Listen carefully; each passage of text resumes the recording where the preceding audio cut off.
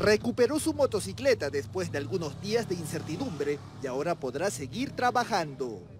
Roy Reategui, campeón de fisicoculturismo, fue víctima de la delincuencia días atrás, pero la Policía Nacional pudo ubicar rápidamente el vehículo y entregarlo a su dueño. Quisiera agradecer eternamente a la Policía Nacional por la eficiencia de recuperar mi moto, sobre todo a la división de Dirincri, que ha, ha localizado mi moto en tiempo récord.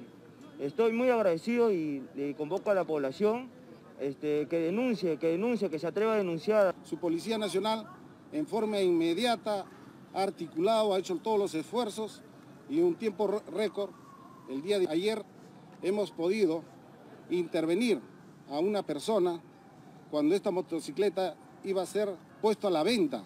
En esas circunstancias ha sido intervenido. Fue en la cuadra 5 de la avenida San Felipe en Jesús María, donde el joven deportista dejó su motocicleta frente a un condominio.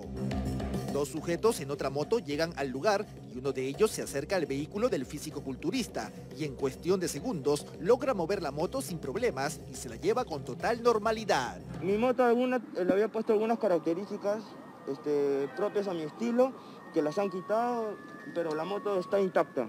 La moto es la misma, es el modelo, está todo. Aunque la víctima ya prácticamente había perdido la confianza de recuperar su motocicleta, este sábado recibió la gran noticia. La verdad no tenía tantas esperanzas de lograr recuperar mi moto, pero la Policía Nacional me, respaldó y me dio el, este, la confianza de poder recuperar mi moto y así lo hicieron en tiempo récord. La motocicleta fue ubicada en el cruce del pasaje Pisagua y el Girón García Naranjo en el cercado de Lima, cuando dos sujetos la empujaban. Uno de ellos escapó y el otro sujeto, identificado como Gerardo Quispe García, fue detenido y permanece en la sede central de la Dirincri.